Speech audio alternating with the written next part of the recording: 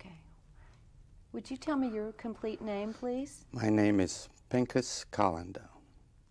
I was born February the 8th, 1926 in Bochnia, Poland. Bochnia is about 40 to 50 kilometers from Krakow. Okay.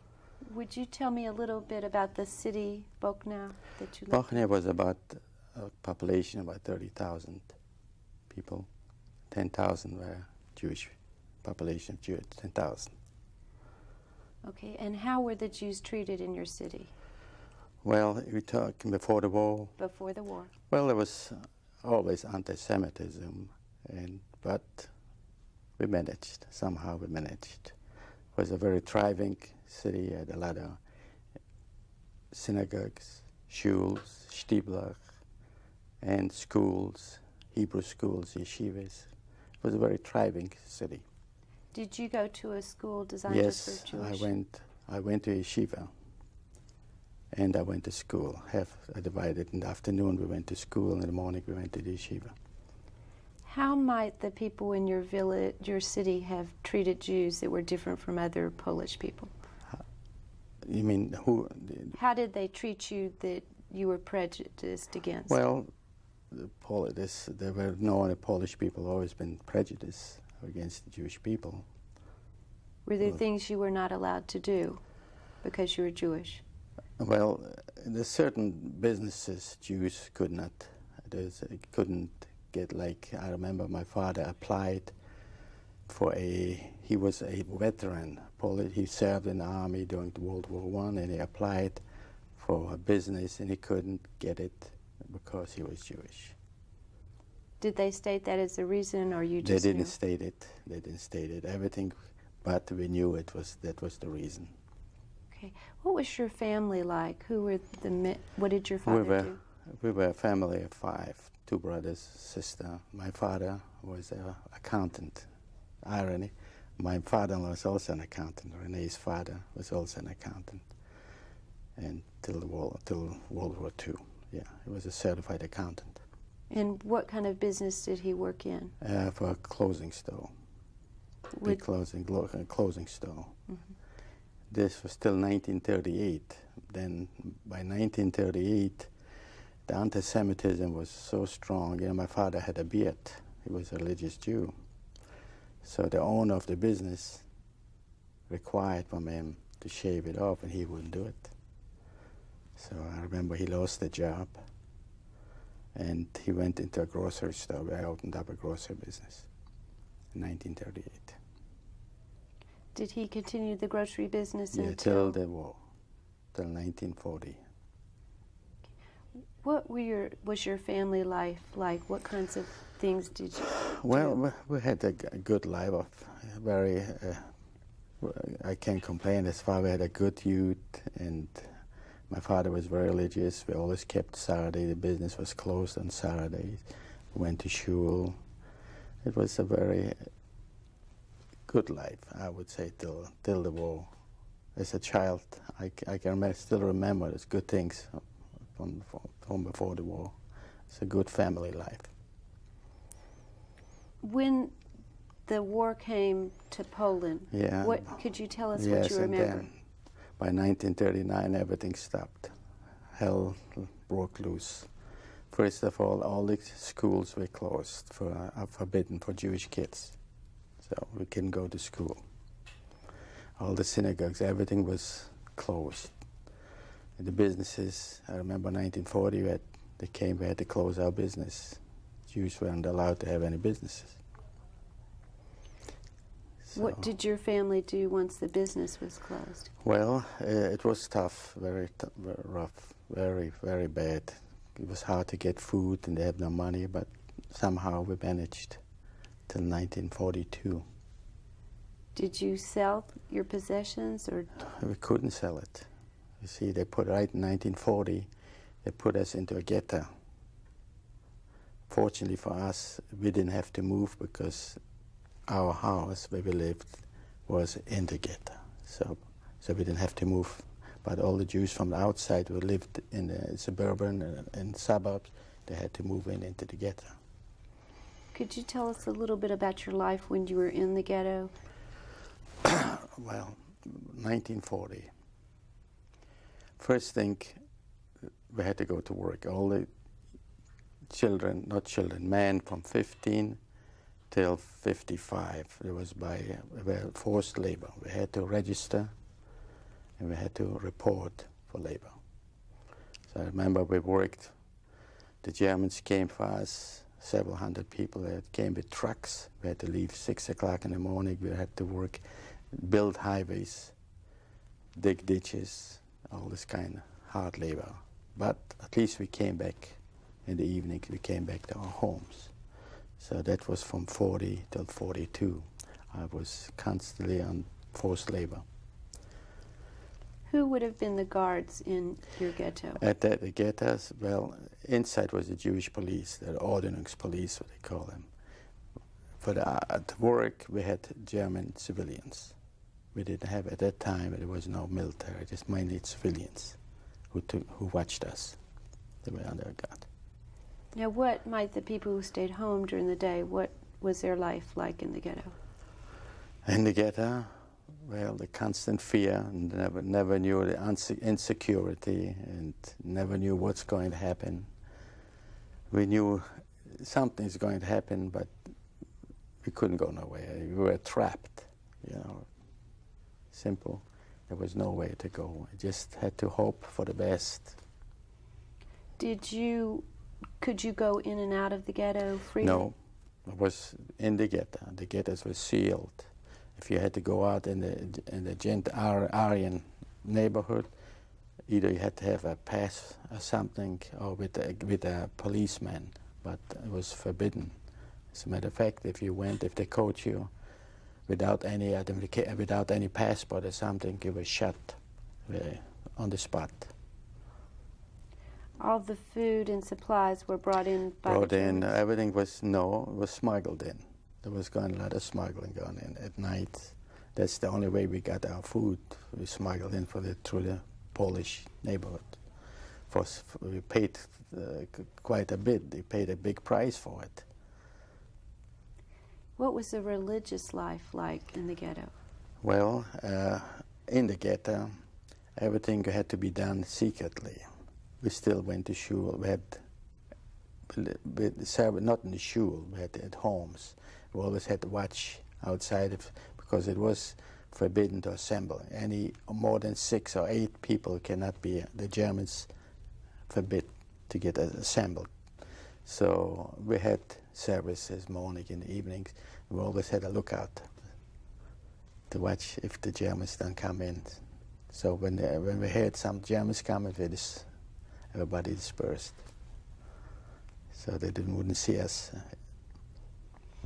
did people start disappearing from the ghetto? Yes, a lot of people, because a lot of people went out at night to get some food from the farmers and everything, and, and anybody was caught, they were shot. And we remember used to, every day used to bring in dead corpse, then take it to get the People who were caught and they're outside, outside the ghetto. And you were responsible for burying them? Yeah, we had the Jewish community had to go bury them. What, where did the people who came from the smaller cities, where did from the all, from the surrounding area, yes. yes, they all came in, put them into the ghetto, into Bochnia. That was the main ghetto right there. What did you did you me? have to accommodate them in your houses, or how did you? Well, the Jewish community, there was a Judenrat. They had, you know, the Jewish council, they called it the Judenrat. And they were responsible for those people. They had to supply them with uh, make arrangements for apartments, where to live, and so forth. Of course, they put in the whole families in one room. There was very shortage of apartments, so people lived like like animals, like dogs, 10, 15 people to a room. Couldn't and help it. Was there quite a bit of community spirit trying to help other people? Yes, yeah, that's the reason. Uh, yes, it was quite a community spirit. It's the wealthy one, the people had some money, helped uh, I remember in the ghetto, we had, by 1940, we had to give up the, the, the grocery store. We opened up a restaurant, small restaurant, so we helped out a lot of people who didn't have to eat anything. They used to come in and we used to feed them because we had a little bit more than they had.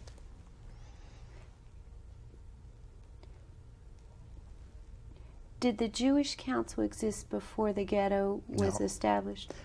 During the ghetto, 1940, the Jewish they they start they they arranged at Judenrat in 1940. Okay. Did you see things starting to change in the ghetto as time went on? Yes.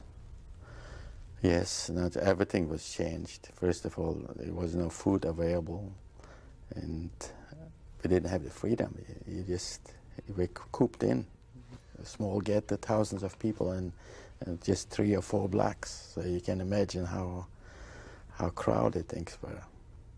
When did the ghetto um, become unestablished? When did they I believe it was in 1940. I couldn't tell. It was my. I think it was in winter. Uh, remember, it was cold when the when the when the Germans came in and they gave the orders all the people to move in into the ghetto. So it was about 1940 in winter. I couldn't give you exactly the date. And when did they close that ghetto? right when they once they put got in all the people into the ghetto, then they closed it. Put in they had gates, and military police and Jewish police. The Judenrat were inside, and they had German. I think it was Polish police were outside watching the ghettos. Okay. And then eventually you left the ghetto? We went. What do you mean? Uh, we went to work. We had to go out to the gate. Yeah, I was there till 1942. Okay. Into what happened in ghetto. 1942? Okay, 1942, the Germans, this start, they came in and took out uh, Auschwitz. For the, the first group, I think, went to Treblinka. I remember that. And they got my sister at that time. I was still in the, got, they had a quota, so many people, so they grabbed so many people. And I was 19, by the end of 1942, I was taken with my brother to Auschwitz. Okay. What became of your parents? Okay, my mother was shot right into the in the ghetto. It was 1942. As a matter of fact, that is September. It was September the first or the second. She, they, uh, all the elderly people, they didn't want only the young ones. They picked the young ones, and the older ones. It was a few hundred people. They couldn't use them, so they just executed them right there in front of us. Of us. So my mother was shot right then on the spot. And my brother and myself, we went to Auschwitz. I was with my brother the whole time till 1945. What happened to your brother? Unfortunately, when the 1945 in January, when the Russian offensive started, I know you're familiar with the history. And when the German, when the Russians came close to Auschwitz, the Germans came and they took us all out. We marched further west, away from, from the Russians. We marched the whole night. I remember we, marched from Auschwitz to Gleiwitz. It's about 70 miles. And my brother kept saying to me, let's escape. And I kept telling him, do not escape. This is not the time because I knew it's still German territory. And I said, if you escape, where are you going to hide? The population are, uh, are not friendly. They're all Germans. But it's something, I don't know, he just kept constantly. And suddenly I didn't see him anymore. And since then, I lost him. I was there the whole time in Auschwitz. When when you left the ghetto, how did you leave They, the they ghetto? put us on trains. They put us on trains, cattle trains, packed us 100 to 120 people into a, into a wagon, sealed. And fortunately, we didn't. wa- We weren't too far from Auschwitz. So it took us only about two days. So most people, two days. But I know some trains further east took seven, eight days. So you can imagine closed wagon. Most of them didn't didn't make it even to Auschwitz. But from us it was only two days of a trip to Auschwitz. Okay, was any food or No, I mean, in the train, no, nothing. No, no food. when you got to the camp? When we What- got to Auschwitz, I remember we had to undress completely naked. And they put us, here's it. I remember this is the, if you, if you can see this, this, this is the gate before Auschwitz. Sorry, this, know you see here, right there, this is before the gate. We had to line up there before that gate. And I remember Mengele was there. He had that famous doctor. And we had to line up in five, and he was pointing left, right, right, left, right, left. And I was fortunate. I went put to the right. And the one to the left, they went to the crematorium. The one to the right went, went into the camp in Auschwitz. Was that your only encounter with Mengele? Yes, that's the only one. I didn't know the name, but later on, when we, when I heard about him, I remember the looks of him. I, that was him. Okay. Once you went in the line that said you were going to live, then we... We didn't know that. We didn't know that. But we had an, I had an idea when I could see it was dark, but I could see the people to the left were mostly elderly people and young children. So I had uh, inkling that we're going to into the camp, and they put us into the camp. When we got there, first of all they shaved our hair. Took a, we were stark naked, and they tattooed us. You see it right now. I have 161, 253, the number. And and they took us, they gave us the showers, cold showers. It was in winter, bitter cold. That was in November when we got there. And then the showers, then they put us this striped, they gave us a striped clothes, and they took, took us into Birkenau. This is the camp. And the Birkenau was a, actually was a camp. It, it was a, the, it was not a labor camp. Anybody, if you couldn't live there longer than four weeks. Fortunately for us, we've been there only four weeks. It was a transition camp. That's what it is.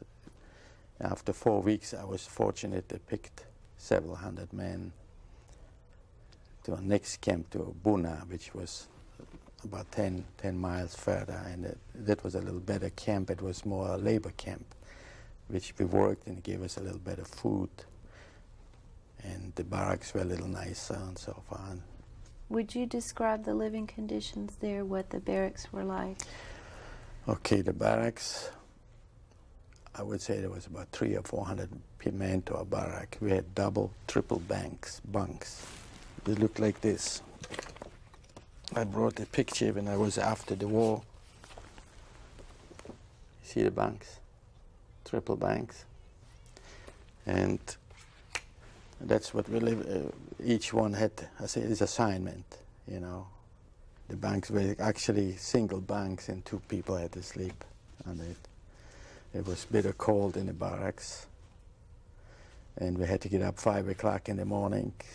And the- the way they, they came in the kapos, you know what a kapo is? Kapo where there's uh, like the, uh, they were in charge of the barracks.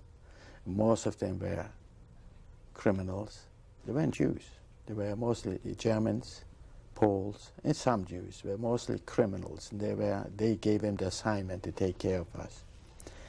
And they used to beat us. That's the way only in the morning and the evening, in order you know to get us to to scare us, not to make any revolts, or you know to to be quiet. And that's the way they they treated us there. And what did you have to eat? uh, in the morning used to give us one portion of bread. It was mostly mixed with sawdust. It's, it was very heavy. It's, it looked when you took, but it was mixed flours mixed with sawdust. You wouldn't believe it, with sawdust, and a piece of margarine, which and cup of coffee. Coffee was not real coffee; it was uh, substitute coffee, no sugar. and that's this what you got in the morning. You had to work till the evening. In the evening, you got a quart of soup. If you were fortunate, you might sometimes you had a few potatoes and a piece of meat. If you were lucky, if you mixed it up, good. And most of the time, it's just hot water, a few potatoes. And uh, for that, you had to work almost 10, 9 to 10 hours a day. What kind of work did you do? the first time when we came there, we had to we worked we unload gravel from trains and coals. This I remember the first few weeks of this kind of work. It used to assign four men to a train to a wagon, and they give you so much. You had to finish it by then, and if you didn't finish it, you get you, you get a beating. So it was you, you couldn't you couldn't just sit out and say, no, well, I'm not going to do it, because if you didn't do it, you didn't finish your job, you, you got a terrible beating from the kapos. So. And then, did you continue with that the whole time you were there? I continued it uh, for quite a while. I do remember in Auschwitz. You know, and to survive in Auschwitz, you had to get a break my break came. I remember the first few months was, I, I knew I just wouldn't make it. Things was, it was bitter cold. You know, the hunger you can survive. You can with hunger you, for a long time, but the worst thing was the cold. It was bitter cold, and they didn't give you a head. One striped jacket, no sweater, just the undershirt in, a, in an overcoat, a striped overcoat, which was very thin. And for that, with that, you had to stay outside, which was often 10 to 15 below zero in bitter cold. People just froze to death. And that was the, actually the main culprit. I find at Auschwitz, the main thing, the worst enemy was the cold. Then naturally was the hunger, and then was the, the beating. But uh, my break came I remember I met a friend of mine. He was from my hometown, and we discussed it. So he told me, you know, there's. He gave me the name. He used to, he was a friend of my family. He happened to be in Auschwitz one of the first one. He was arrested in 1940. He was from the intelligentsia. You know, when the Germans came into Poland, the first few months, they grabbed, they arrested all the intelligentsia because they didn't want. They figured got to get rid of the, intelligentsia first, because they are they can start a revolution, uh, you know. And he was uh, he was a, a, professor or something, so he, they had his name. He was a good friend of my family. Fortunately, that man he was sent to Auschwitz, and he was assigned in the. He survived the first the, the first few months, and he was assigned in Auschwitz in the administration. And he told me about him, and he said he is in charge of you know, the, the, the, inmates in Auschwitz, they were, they had everything, the administration, everything. It was under, they were, they did all the work, and he happened to be a very, very high position in Auschwitz. so I said, let me. So I went there, and when I met him, he recognized me, and I told him how the situation is, how bad it is, and so forth. If he can give me a different job lucky for me, and he assigned me to another job, which was indoors. He and my brother. And I think that was the first break I got in Auschwitz, because I don't think I, could, I would have survived the winter uh, with, and, with this kind of work we did before, and that was my first break. You see, that's I survived, and I had a better job. It was indoors, which it wasn't so cold and it wasn't so hot. And I think he saved my life. What job did you do? Well, we worked inside, we made cabinets, metal cabinets for, for the Germans. And uh, so we, we, did just mostly carry. You know, I, I, was not a cabinet maker, but we did the labor, you know, what's, what's there. But main thing what it was is indoors because it was bitter cold. And, and December, January, February, March in Auschwitz was almost unbearable. So cold it was there this morning. How did the people in your barracks get along with each other? Well, to be honest with you, we were like animals. People were, st- stealing. Everybody tried to look out for himself. You could not, if you left a piece of bread, uh, in five minutes it was gone. So everything has to be, uh, you have to keep it under your, tucked into under your shirt. Unfortunately, that's, that is a fact of life. We were like animals, fighting, scratching, beating anybody. If you could steal from anybody, just like animals. We just lost our humanity. That's a fact. Were you in barracks with only Jewish people, or were there? No, we were a lot with Poles too. We were Poles and mostly Jews and Poles. Yeah, we had a few Germans. They're political uh, prisoners. Did they eliminate people who were in your barracks at various points? Did they take them to the death camps from your work details? Yes, we do. We did have over a few months. We had they called it uh, selection. Mengele uh, came in. But I hadn't seen. He used to come in in the barracks, and they used to select the people who looked very skinny. Then I couldn't work anymore, so they had to undress, complete naked. You had to stand before for the the doctor. He looked at you, and you had to turn around. You had to stoop over. He looked at if he, he didn't see any, he saw too many bones, and you put down your number, and you had that's it. Next morning they came with trucks and picked picked all the people and put them right in the crematorium. Did you know what was happening? Yeah, we knew it. We knew it. Fortunately, I wasn't picked, but uh, I, I can remember it was heartbreaking when some of my friends, they knew that I, he put down the number they were picked. They couldn't, and they knew they would come for them in the morning. It's, it's, it's a terrible thing. Was there any time where there was ever an attempted revolt against the Germans? Not in Buna, not everywhere. As a matter of fact, there was a revolt in, Bu- in Birkenau. There was a so- commander, you know. You heard about the Sonderkommando, they're the one who did the burning the people. They would put them in the ovens, so far.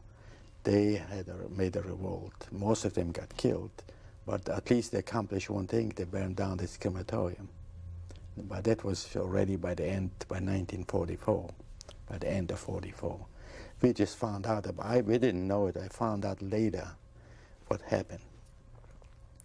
Okay. Do you remember when you were liberated, who liberated you, and what happened?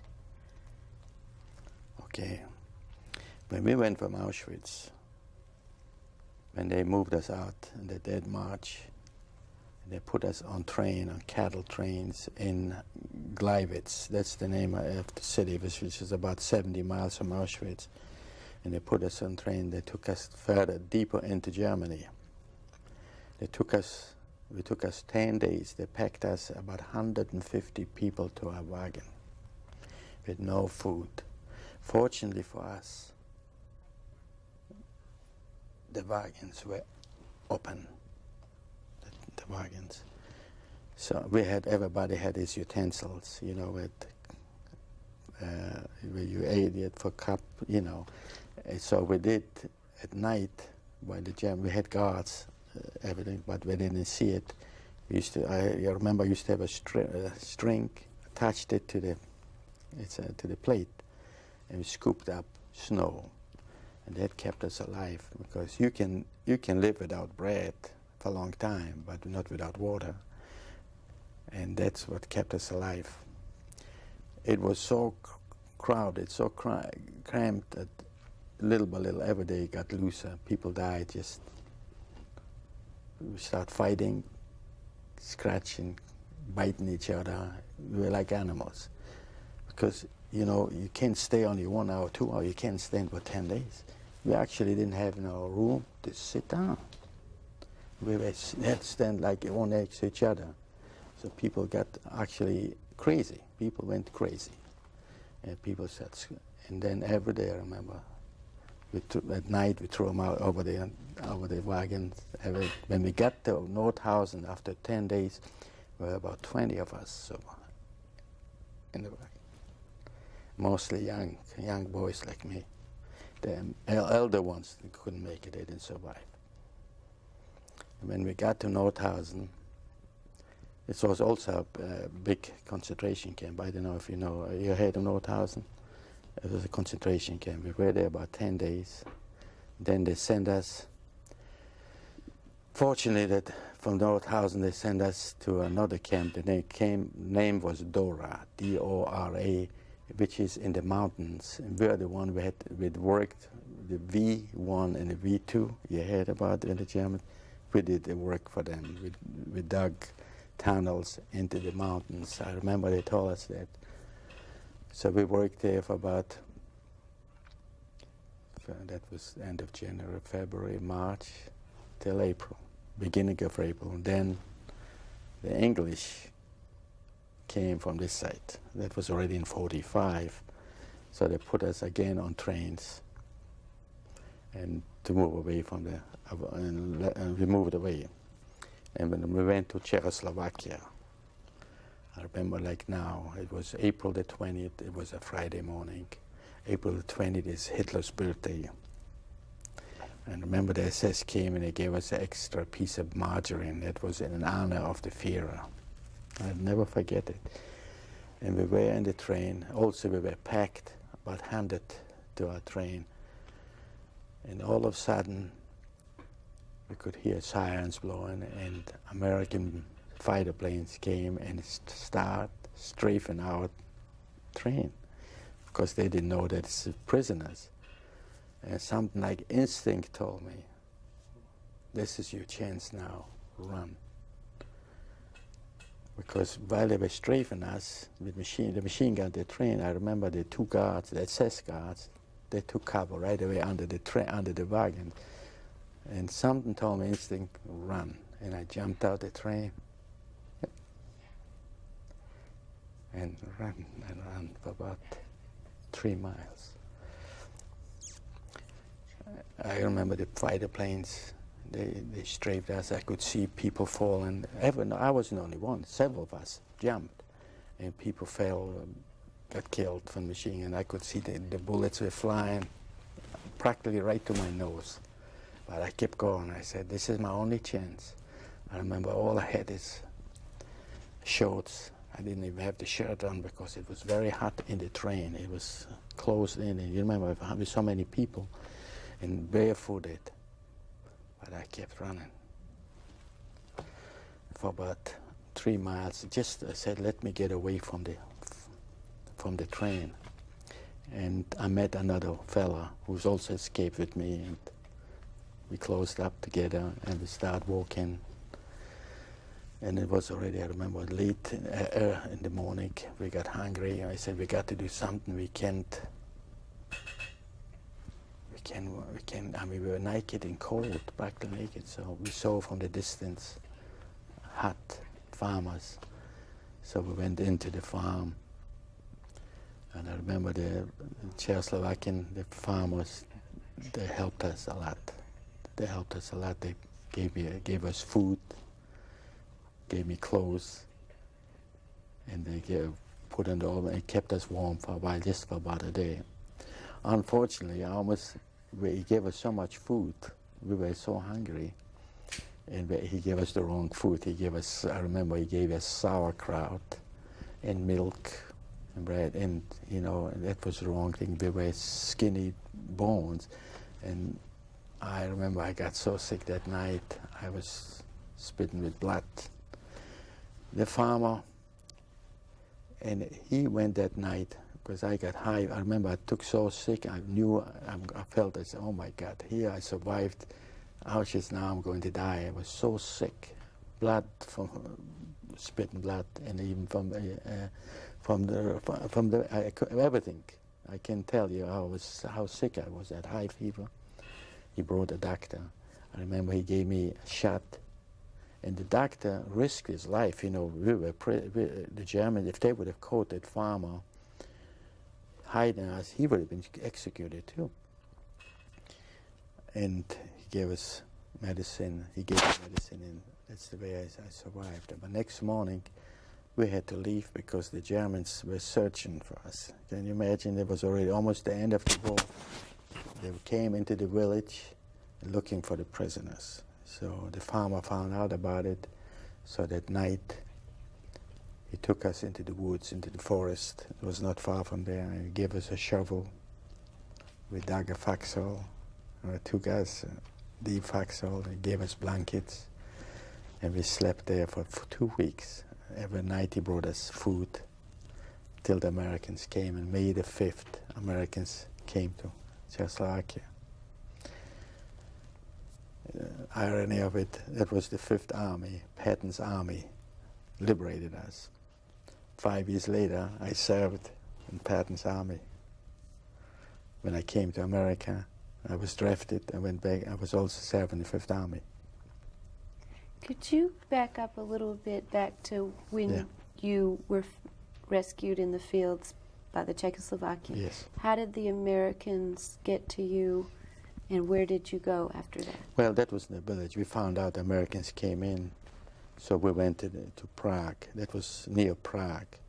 And we've been there, and there was several other guys. We met other fellas, survivors. So we went to the American. I remember we went to a company there. They had bivouac. The American was a tank company. We went in there, and we asked him if we were willing to work. He said, KP duty, you know KP? And they were glad to take us in, and we worked for them for four weeks. And we worked, we were glad to do the work, and the soldiers were happy because they didn't have to pull a KP. so we slept with Americans. They gave us uniforms. We had a real, and that's the way we recuperated. You'd be surprised how quickly we recuperated from 70, 80 pounds. In a month, I was already 120, 130 pounds. And where did you go once you? From there, we worked for them, and then the company, I remember, left for for the United States, and we just went to Germany. We, had, we found out there's, there's a lot of uh, refugees going to Germany, so we decided we went to Germany. And well, I lived in Germany from 1945 till 1950. I applied for the visa right then. When I get to Germany, I applied for them, the American consul. It took me five years to get the visa.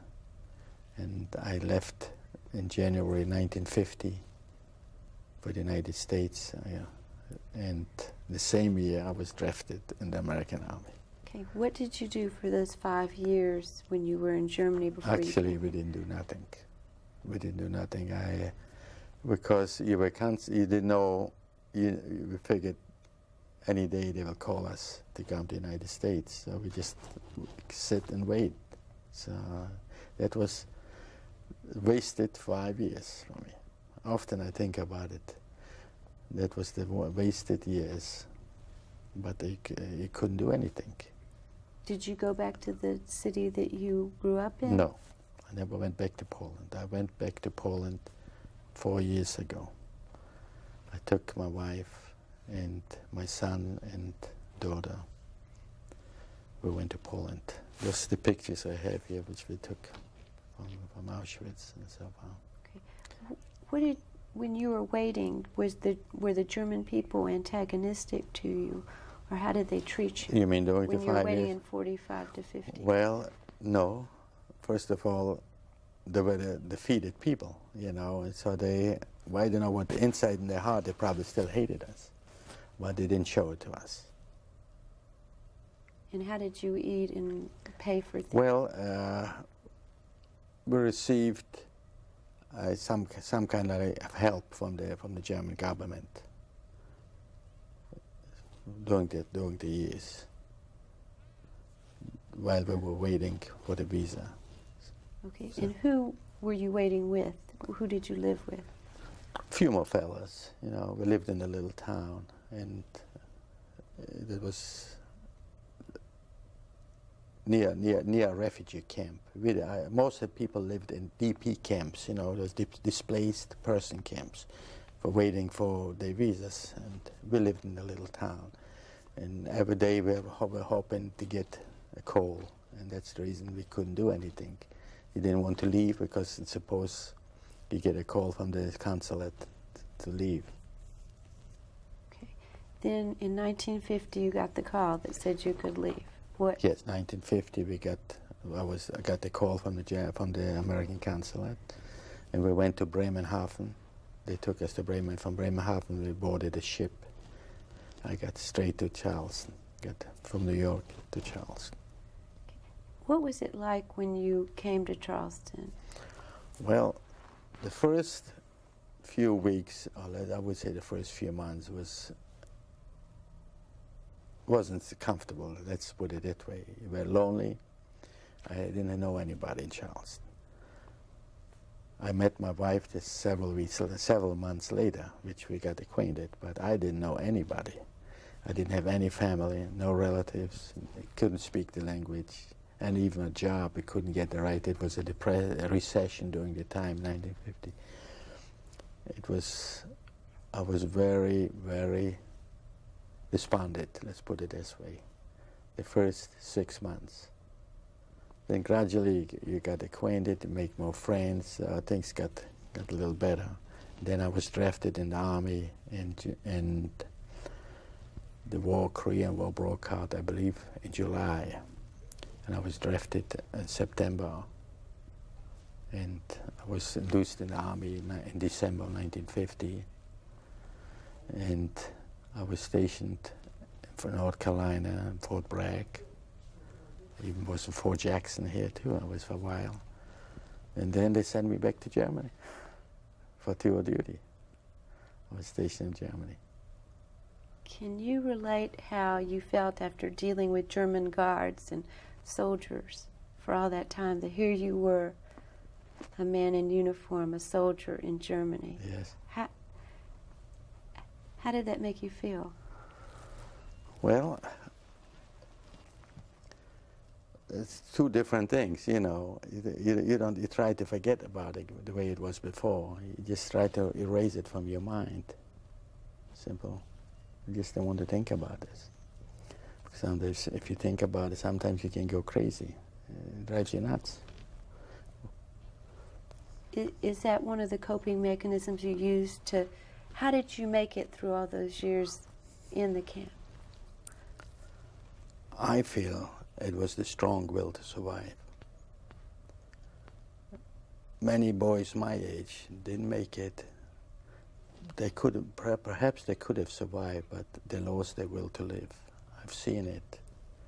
That was the main thing. You had to have the strong will to survive. You had to keep it in your mind. I'm going to live. I'm going to survive and I'm going to outlive. And many boys, they just often went to the fences. It was every day. You could see dozens of kids. They just went to the fences and electrocute themselves, commit suicide. It was the easiest way out.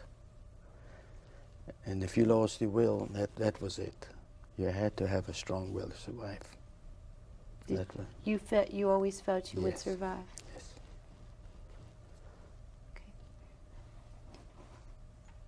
Did did you give up ever, and your your brother pulled you through, or another friend pulled you through in in oh, times oh, there were times you tried to give up, but then last minute I said no, I'll make it. I will make it. I'll survive. Especially when my brother, when I knew he's he was gone, I had a feeling that he must have either when he escaped, he must have been shot. I said, I'm the only survivor. I got to live. Okay. After you came back from the service in the United States Army, what did you do then? After I came back from the Army, of course, I met my wife here and we, we dated. I was, I didn't have a profession. I didn't ever had a chance to, to learn anything. Uh, I was a, travel, a, a salesman. I became a house-to-house -house salesman. And that's what I did for about five or six years. When we got married, and I was selling, selling from house to house.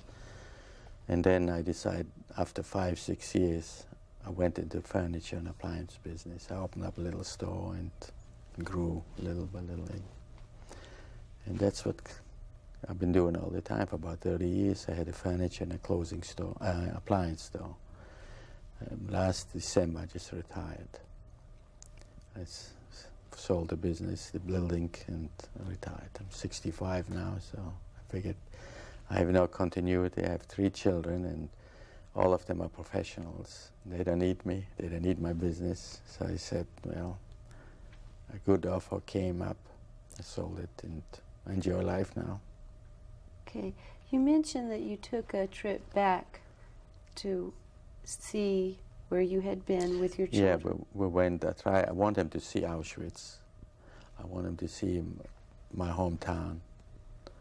And it was very painful, very traumatic, but I felt a tremendous relief when I could see the go to the cemeteries. I have a picture here when I saw my father's mass graves, my mother's grave. I knew they're, they're buried there, but there was hundreds of them. And we will say a prayer, say Kaddish, and it's a tremendous relief. And as a matter of fact, that uh, my wife, myself, decided to go again. A lot of friends of mine tell me, why, why do you want to go? You just it's nothing there. The Polish, what do the Polish people anti-Semitic? But I, I don't go to see those people. I don't care about those people. What I want to see is go to see. I just want to go again to the, to the cemetery and to visit all those places. Even though it's very painful, but I just feel a relief. I can't explain. When your children were growing up, how could you communicate the experiences you had with them? Well, when they were little, we didn't, but we did communicate when they got a little older. We sat down with them and, and we talked to them, told them our experience and so on. They, they felt it because they never had any grand, grandparents. They always used to ask, ways, uh, how comes people have a grandfather, grandmother, we don't have any. So we explained to them. So they, they understood. They understood. Okay. When you think back on all of your experiences and all the wisdom you've gained since then, mm-hmm. what message do you have to the world? Oh, the message, often I think about it, is that people forget. They forget what happened already. It's been only not even quite 50 years that's the reason I, I, even it's painful to come here and talk about it, I really want, because I feel we contribute something for the future generation. People should see it, should hear it, should know what happened. Only by education and learning what happened, maybe it could avoid from happen again, such a tragedy for Jewish people. What brought back your humanity? You said that you had felt so inhuman, and people. What is it that brought well, you back to your other's humanity? Frankly, I, it's a good question. I, I believe, I don't know. Maybe it's the, the pressure and after I mean, after the war, once we, we feel we felt more like human beings, it comes back to you. While when you're with animals, you become an animal, and that's what an animal. And that's what actually it was. We were animals. Everybody was only for himself to survive. I mean, you can't blame people. People would kill for a piece of bread. We used to search at, at often pick up potato peels, and, and we used to fight over it. It's, it's, I can't describe it how because you don't know what it means day and day, hunger, hunger. It's, it's, you constantly, 24 hours a day, you're always hungry, hungry, and you just think about it, you dream about it, and your mind, you're going crazy. And you, especially when you see some other guy, when you see a man eat something, you are willing just to kill him just to grab the piece of bread. It's, it's, I know people who went there I can't understand it, but it is a fact. So getting back to a regular life. Yeah, we get back to regular life. We become back human. After all, we are human. And a human being can become animal. Can you forgive? I don't know. I've been thinking about it. Uh, it's hard to forgive. You can you you can forgive to some degree, but you can't forget it. Can forgive something, but you can't forget it. Okay, thank you very much.